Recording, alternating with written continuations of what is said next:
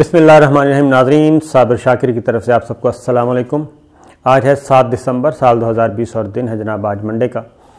آج آپ سے بات کرتے ہیں، ذرا انڈیا کی صورتحال کا جائزہ لیتے ہیں کہ انڈیا میں اس وقت بہت بدترین حالات ہیں۔ خبریں نہیں آ رہی، لیکن عالمی ذرائع ابلاغ خبریں دے رہے ہیں۔ اور خاص طور پہ میں تو یہ کہوں گا کہ پانچ اگست کا جو اقدام کیا، بلکہ اس سے پہلے ستائیس فروری کو جب سے نریندر مودی نے الیکشن جیتنے کے لیے انڈیا میں ایک پلوامہ کا جو ڈرامہ کیا تھا اور اس کے بعد سے الیکشن تو وہ جیت گیا، لیکن اس پلوامہ ڈرامہ میں اس نے اپنے سینکڑوں بھارتی فوجیوں کو ہلاک کروایا اور ہلاک کروانے کے بعد اس نے الیکشن تو جیت لیا، لیکن وہ بھارتی فوجیوں کا خون بھی اس کو معاف نہیں کر رہا اور اس کے بعد پھر ستائیس فروری ہو گیا، اس پہ مار کھائی۔ پھر آگیا جناب، پانچ اگست پانچ اگست کے بعد جو کہ مقبوضہ کشمیر کے بارے میں اس نے اقدام کیا، چائنا کو بھی چیلنج کیا، کشمیریوں کو بھی چیلنج کیا اور پاکستان کو بھی اس نے ایک انگوٹھا دکھانے کی کوشش کی۔ تو تب سے لے کے اب تک انڈیا کے حالات بد سے بدتر ہو رہے ہیں۔ اور جو میں آپ کو خبریں آپ سے شیئر کروں گا، اس کے بعد آپ کو اندازہ ہو جائے گا کہ انڈیا کے اندرونی طور پہ اس وقت کس حد تک خلفشار کا شکار ہے، نہ صرف خلفشار کا شکار ہے، بلکہ فسادات ہو رہے ہیں اور مارا ماری ہے، قتل و غارت گری ہے، نسل کشی کی جا رہی ہے۔ اور یہ صرف مسلمانوں کے ساتھ ہی نہیں، بلکہ ہر منورٹی کے ساتھ کی جا رہی ہے۔ اور صرف ہر منورٹی کے ساتھ نہیں، اس وقت انڈیا میں ایک بہت بڑی جنگ جو ہے، وہ شروع ہو چکی ہے۔ انتہا پسند ہندو دہشت گرد ہندو اور اعتدال پسند اور معتدل مزاج کے ہندو جو ہیں وہ جو قومی دھارے میں رہنا چاہتے ہیں، قومی مفادات کا تحفظ کرنا چاہتے ہیں، وہ ایک میجورٹی جو ہندوؤں کی ہے، وہ بھی اب اٹھ کھڑی ہوئی ہے، لیکن سب سے زیادہ جو مسئلہ ہے وہ ہے منورٹیز کا۔ وہ مسلمان ہوں، سکھ ہوں، عیسائی ہوں، یہ سب کے سب مسائل ہیں۔ اور اس وقت دلی جو ہے، دلی کی دلی کی طرف جانے والے جناب دو ریاستوں نے یعنی کہ دو صوبوں نے دلی کی طرف جانے والی سرحدوں کو سیل کیا ہوا ہے پچھلے دس دن سے۔ اور انڈیا کی پولیس، انڈین فورسز وہ سرحدیں نہیں کھلوا سکے۔ اگر ہم یہ کہیں، عملاً کیا ہوا ہے؟ عملاً یہ ہوا ہے کہ دو صوبوں نے واضح طور پہ بغاوت کی ہے اور دو صوبوں نے مرکز کی طرف یعنی وفاقی دارالحکومت دلی کی طرف جانے والے راستوں کو منقطع کر دیا ہے اور سپلائی روکی ہوئی ہے اور زمینی راستہ معطل کیا ہوا ہے، زمینی راستہ کاٹا ہوا ہے اور دلی سرکار جو ہے، مودی سرکار وہ کچھ نہیں کر پا رہی، بلکہ یہ اب معاملہ جو ہے وہ عالمی ذرائع ابلاغ سے ہوتا ہوا عالمی اقتدار کے ایوانوں تک پہنچ چکا ہے، خاص طور پہ یہ والا۔ یہ میں اس کی ڈیٹیل آپ کو بتاتا ہوں، لیکن اس سے پہلے ایک چیز، دو تین چیزیں انڈیا کی اس وقت مجموعی صورتحال کیا ہے؟ کیونکہ انڈیا کو کچھ سمجھ نہیں آ رہی۔ انڈیا کو انڈیا سے مراد ہے ادیت ڈوول، نریندر مودی، ہندوتا کے فلسفے، R S S, B B J P. ان کو کچھ سمجھ نہیں آ رہا کہ انہوں نے کرنا کیا ہے۔ یہ اپنے ہی دیش کو برباد کرنے میں لگے ہوئے ہیں۔ اور اس وقت جناب رپورٹ آئی ہے ٹرانسپیرنسی انٹرنیشنل کی رپورٹ ہے۔ اور اس کے مطابق ایشیا میں اس وقت رشوت کی سب سے زیادہ شرح بھارت میں ہے۔ اور بھارت میں رشوت، بدعنوانی، کرپشن، یہ ایشیا کا سب سے نمبر ون ملک جو ہے وہ انڈیا ہے۔ ریاستی دہشت گردی میں ایشیا کا نمبر ون ملک انڈیا۔ مذہبی جنونیت، ریاستی مذہبی جنونیت میں اس وقت ایشیا کا نہیں، دنیا کا نمبر ون ملک انڈیا۔ اور انتہا پسندی میں نمبر ون، دہشت گردی میں نمبر ون، یہ اعزازات مودی سرکار اجیت ڈوول کو مل چکے ہیں۔ اور اب اگلا جو اعزاز ملا ہے ٹرانسپیرنسی انٹرنیشنل نے۔ بلکہ ایک اور اعزاز بھی ہے مودی سرکار کے پاس، وہ ہے جینوسائڈ کا۔ جینوسائڈ واچ کی رپورٹ کے مطابق، نسل کشی میں بھی اس وقت انڈیا نمبر ون ہے کہ وہ اپنی منورٹیز کی نسل کشی کے ایک باقاعدہ وسیع تر روڈ میپ پہ عمل کر رہا ہے اور باری باری تمام منورٹیز کو وہ ٹارگٹ کر رہا ہے۔ اب ایشیا کا یہ ٹرانسپیرنسی انٹرنیشنل رپورٹ ہے جناب کہ ایشیا میں رشوت ستانی کی شرح سب سے زیادہ بھارت میں ہے اور یہ انکشاف ایک سروے رپورٹ میں یہ انکشاف ہوا۔ ٹرانسپیرنسی انٹرنیشنل نے ایک سروے کروایا، ایک مفصل سروے اور دیگر ایشیائی ممالک میں بھی کروایا گیا، جس کے بعد یہ رپورٹ سامنے آئی کہ اس وقت انڈیا میں کوئی بھی کام، انڈیا میں کوئی بھی کام جائز یا ناجائز، وہ رشوت کے بغیر نہیں ہو رہا۔ اور اگر کوئی اس میں بھارت کے مطابق اس ہاں رپورٹ کے مطابق کیا ہے جی Indonesia, Taiwan, Maldives, Bharat, Sri Lanka Thailand Philippines, Japan, Nepal, Malaysia, Bangladesh Mongolia, چین، جنوبی کوریا، میانمار، کمبوڈیا اور ویتنام شامل ہیں جہاں پہ جہاں پہ یہ سروے کیا گیا۔ اور ان تمام ممالک میں، ان تمام ممالک میں انڈیا نمبر ون ہے۔ اور دوبارہ میں آپ کو بتا دیتا ہوں کہ انڈیا ٹاپ پہ کن کن ممالک سے کو پیچھے چھوڑ گیا ہے۔ کرپشن میں رشوت ستانی میں، بدعنوانی میں انڈونیشیا کو پیچھے چھوڑ گیا، تائیوان کو، مالدیپ کو، بھارت کو، سری لنکا کو تھائی لینڈ کو، فلپائن کو، جاپان کو، نیپال کو، ملائیشیا کو بنگلہ دیش کو منگولیا کو، چین، جنوبی کوریا کو، میانمار، کمبوڈیا اور ویتنام کو۔ اور اس میں یہ کہا گیا ہے جناب کہ سب سے زیادہ جو پیچیدگیاں ہیں، وہ انڈیا میں ہیں، کس کس طرح سے ہیں؟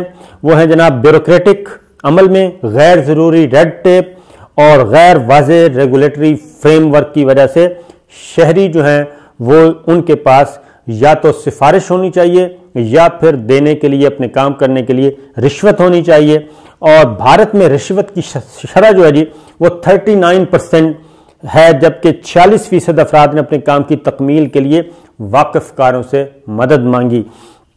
اسی طریقے سے جناب، اس سروے میں یہ کہا گیا کہ پچاس فیصد نے اقرار کیا کہ انہوں نے رشوت دی تھی کیونکہ ان سے کہا گیا تھا کہ جناب جب تک آپ یہ کام نہیں کریں گے، اس وقت تک آپ کا کام نہیں ہو سکتا، پچاس فیصد۔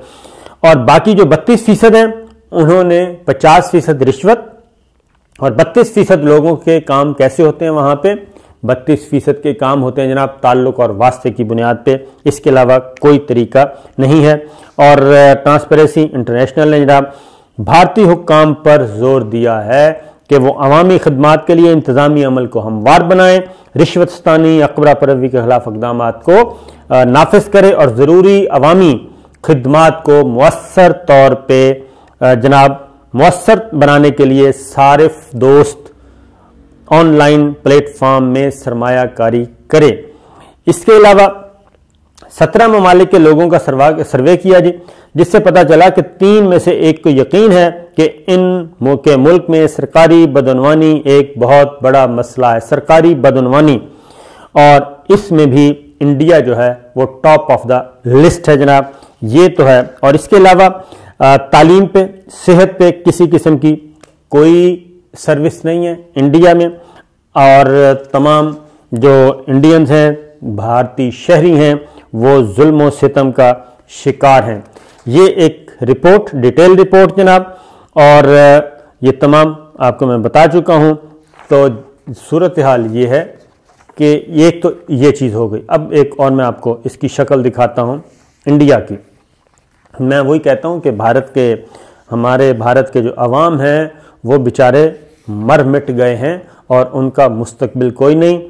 اور وہاں پہ وہ خواہ کوئی بھی ہو، یہ الٹیمیٹلی یہ نہیں ہوتا کہ جب آگ لگے گی، جب غربت آئے گی، مہنگائی آئے گی، نسل کشی کی جائے گی اور یہ سب کچھ ہوگا تو پھر کوئی فریق بچے گا، کوئی نہیں بچے گا اور الٹیمیٹلی اس آگ نے انتہا پسندی، شدت پسندی، مذہبی جنونیت، دہشت گردی، اس کا نشانہ بالآخر بھارت کے ہندو بھی بنیں گے اگر اس کو قابو نہ کیا گیا، اس کو نارمل نہ کیا گیا اور مذہبی رواداری اور باہمی بھائی چارے کا اور بھارت شہریوں کو، بنیاد بناب تمام شہریوں کو بلا تفریق، مذہب، رنگ، نسل اگر ان کو سیاسی حقوق، برابری کی بنیاد پر نہ ملے۔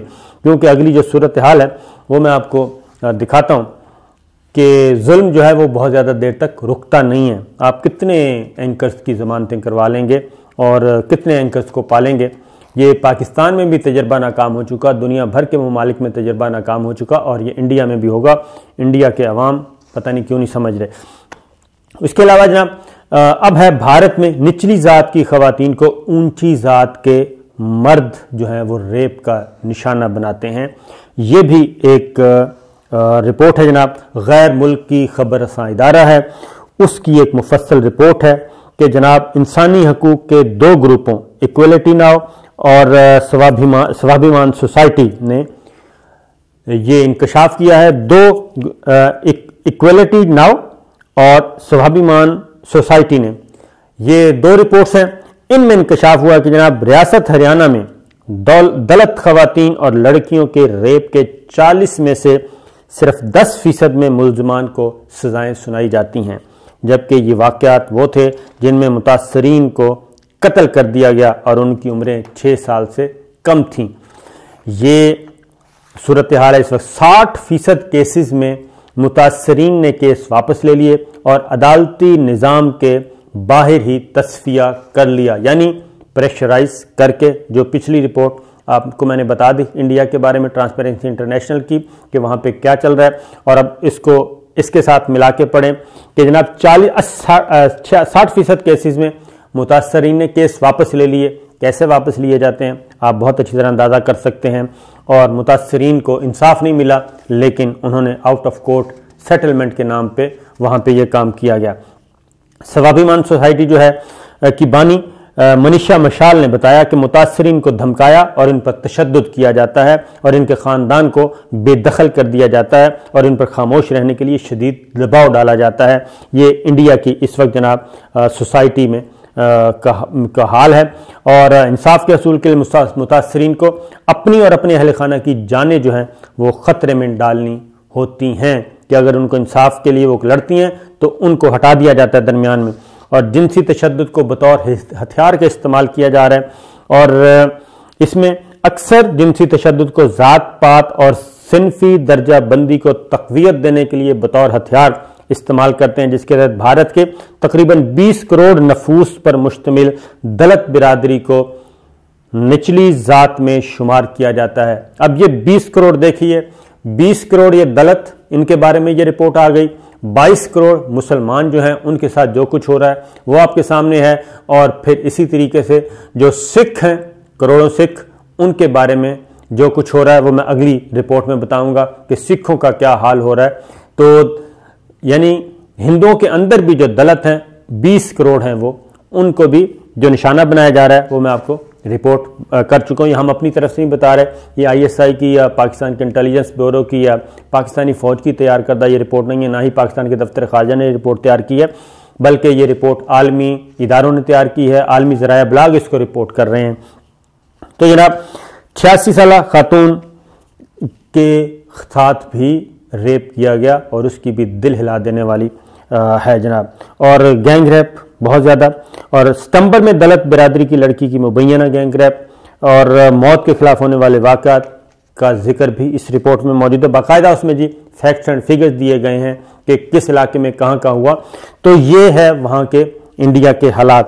اسی طریقے سے اونچی ذات سے تعلق رکھنے والے قصورواروں کو معلوم ہے کہ انہیں سزا نہیں ملے گی۔ تو کیونکہ نظام کا وہ حصہ ہیں۔ اور جس میں فیصلہ، جس ماحول، جس نظام نے فیصلہ دینا ہے، اس سسٹم کا وہ حصہ ہیں اونچی ذات کے ہندو۔ ایک طرف اونچی ذات کے ہندو ہو گئے، دوسری طرف دہشت گرد اور بی جے پی اور آر ایس ایس کے انتہا پسند ہندو ہو گئے اور اجیت دوول کا ہو گیا جی فلسفہ ہندوتا۔ تو یہ سب کچھ ہو رہا ہے اور تقریباً یہ تحقیقی رپورٹ ہے جی۔ اس میں تقریباً نوے فیصد کیسز میں کم از کم ایک ملزم کا تعلق نچلی ذات سے ہوتا ہے اور دیگر ساتھی ملزمان کے ساتھ مل کر گینگ ریپ کے کئی واقعات میں قتل بھی کر دیے جاتے ہیں۔ یہ ہے جناب انڈیا۔ فلمیں بہت اچھی بنتی ہیں، تصویریں بہت اچھی دکھائی جاتی ہیں اور سوشل میڈیا پہ بہت اچھی تصویر دکھائی جاتی ہے۔ لیکن جو گراؤنڈ پہ سچویشن ہے انڈیا کے اندر، وہ میں آپ کو بتا رہا ہوں باری باری۔ اس میں کوئی چیز یہ ذہن میں رکھیے کہ جی ہم نے اپنی طرف سے کوئی چیز نہیں دی۔ پاکستان کا اس میں کوئی رول نہیں ہے۔ اور میں بار بار کہتا ہوں انڈیا کے بہت بہت محبت کرنے والے عوام ہیں جی انڈیا کی۔ یہ میں آپ کو بتا رہا ہوں کہ بہت پیارے ہیں، بہت محبت کرنے والے، بہت محنتی لوگ ہیں۔ بالکل جیسے پاکستان میں ہم محنت کرتے ہیں، اسی طرح بہت کم لوگ ہیں جن کے کنٹرول میں باقاعدہ طور پہ یہ جا رہا ہے۔ اور اگر مسلمان بھی انڈیا کے سسٹم سے نکل گئے، بائیس کروڑ لوگوں کو کنارے لگا دیا گیا۔ اب کیا جناب، بیوروکریسی میں مسلمان نہیں ہونے چاہیے، فوج میں مسلمان نہیں ہونے چاہیے، انٹیلیجنس ایجنسیوں میں مسلمان نہیں ہونے چاہیے۔ بائیس کروڑ کی آبادی انڈیا کی، اس کے بعد بیس کروڑ دلت، ان کو بھی تو ہونا ہی نہیں چاہیے کہیں۔ ان کا تو کام ہی ساری عمر جو ہے، وہ ذلت اور رسوائی ہے۔ اور ان کی نہ عزت ہے، عزت نفس ہے، نہ ان کی کو معاش ہے، نہ ان کا کچھ ہے۔ ان کا کچھ نہیں، وہ سوائے غلاموں کے اور کچھ نہیں ہے۔ جس طرح چاہیں وہ اونچی ذات کے ہندو ان کو استعمال کریں۔ بیس کروڑ، بائیس اور بیس، بیتالیس کروڑ۔ اس کے بعد آ جائیں جہاں عیسائی، اس کے بعد آ جائیں سکھ۔ تو آدھا ملک تو آپ نے منورٹیز کے نام پہ فارغ کر دیا کہ ان کو ہم نے سسٹم میں آنے ہی نہیں دینا، ان کے حقوق ہی نہیں دینے۔ اور باقی رہ گئے ہندو۔ ہندوؤں میں بھی آپ جو کچھ کر رہے ہیں، وہ آپ کو بتاتا ہوں جی۔ اس کے بعد آتے ہیں جناب سکھوں کی طرف۔ اب سکھوں کے ساتھ یہ مسلسل کرتے رہے ہیں، ظلم اور زیادتی۔ اور اب صورتحال یہ ہے کہ تقریباً جناب دس دن ہو گئے ہیں۔ سکھ میدان میں ہیں اور کسان اور یہ پنجاب پنجاب ہے جی ہریانہ ہے اور اتر پردیش ہے، یو پی جسے کہتے ہیں۔ دو سرحدیں ہیں اور اس میں پانچ لاکھ سکھ جو ہیں وہ نکلے ہوئے ہیں اور انہوں نے کیپٹل دارالحکومت کی طرف جانے والے راستوں کو کٹ آف کیا ہوا ہے، ان پہ خود بیٹھے ہیں اور ان کے مطالبات بڑے صاف ہیں کہ ہم پورے انڈیا کو پالتے ہیں اور درمیان میں جناب یہ زرعی قوانین کے نام پہ اصلاحات کی جا رہی ہیں اور ان کا بنیادی مقصد ہے سکھوں کی جو معاش کی معاشی ناطقہ بندی ہے، معاشی ناطقہ بندی کرنی ہے، معاشی ناکہ بندی کرنی ہے، ان کا ناطقہ بند کرنا ہے۔ یہ ان کا ایک بنیادی اصول ہے اور پورے ملک کی انہوں نے جناب اب یہ ہوا ہے دس دن کے کے بعد۔ اب کینیڈا میں جو بیرون ملک برطانیہ، لندن اور کینیڈا میں، ٹورنٹو میں، سکھوں نے اپنی جلاوت حکومت بھی قائم کی ہوئی ہے خالستان کی۔ اور ان کی طرف سے اب یہ مدد کی جا رہی ہے، اپیل کی جا رہی ہے۔ وہ حکومت پاکستان سے، پاکستان کے میڈیا سے انہوں نے کہا ہے کہ جناب ہماری مدد کی جائے۔ یہ زرعی قوانین بنیادی طور پہ یہ چونتیس تنظیمیں جی یہ اور تین ادوار ناکام ہو چکے ہیں مذاکرات کے۔ کوئی حکومت کے ساتھ مذاکرات کامیاب نہیں ہو رہے اور حکومت کی جانب سے فراہم کردہ اشیاء نوش کا بائیکاٹ کر رہے ہیں جناب وہ۔ اور انہوں نے کہا ہے کہ اب تسلیم نہ کیے گئے ان کے مطالبات، تو پھر اگلا جو ہوگا وہ ہے جناب پورے آٹھ دسمبر کو یعنی کہ کل سے ملک گیر ہڑتال کا اعلان کر رہے ہیں اور یہ کسان تحریک جو ہے، یہ پوری دنیا، پورے انڈیا میں پھیل رہی ہے۔ سات دسمبر کو جو معروف شخصیات دانشوروں، فنکاروں اور کھلاڑیوں کی طرف سے اپنے سکاری ایوارڈز واپس کر دیے جائیں گے۔ اب یہ سکھ آ گئے ہیں میدان میں اور انہوں نے یہ واضح طور پہ کہا ہے کہ جناب جو سکھ دانشور ہیں سکھ فنکار اور کھلاڑی اگر ان کے اور معروف شخصیات سکھوں کی وہ تمام کے تمام اپنے ایوارڈ جو ہیں وہ دلی سرکار کو واپس کر دیں گی اگر ان کے مطالبات نہ مانیں کیونکہ یہ سیدھا سیدھا ان کا معاشی قتل ہے جو کہ کیا جا رہا ہے اور کیا اس وجہ سے جا رہا ہے کہ سکھوں، سکھ منورٹیز میں ہیں اور ان کو دبانا ہے۔ اس کی ریزن یہ کہ مسلمانوں کو اور عیسائیوں کو اور دلت جو ہیں ان کو ان کو تو انہوں نے شہریت امینڈمنٹ ایکٹ میں ڈال دیا اور شہریت رجسٹریشن جو ہے سٹیزن رجسٹریشن ایکٹ میں اس میں ان کو فارغ کر دیا ہے۔ یعنی ہزاروں نہیں، لاکھوں نہیں، کروڑوں لوگوں کی وہ شہریت ہی چھین لی، ان کو بے ریاست اور بے دیس کر دیا شہریت امینڈمنٹ ایکٹ کے تحت۔ اب جناب، یہ ایک مفصل ہے جناب، کسانوں کے دھرنے کو بھی شاہین باغ دھرنا۔ کہا جا رہا ہے۔